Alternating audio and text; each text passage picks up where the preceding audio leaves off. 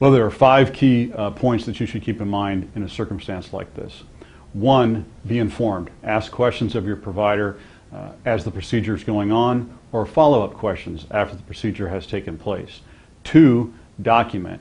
Keep notes and records of what's happening or after the event, try to recreate what you recall took place in the procedure.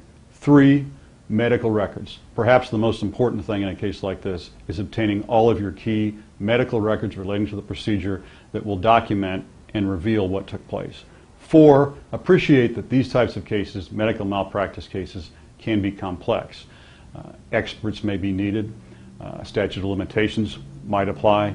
It's important to get a lawyer experienced in medical negligence cases who can guide you through the process. And five, uh, appreciate that not every bad result is in fact medical malpractice or medical negligence. There are risks associated with procedures and they don't always go as planned. The real question is, has the provider met the standard of care that you would expect of a good doctor or provider, or have they failed in some manner? That's the question. To have these questions answered appropriately, you should retain counsel.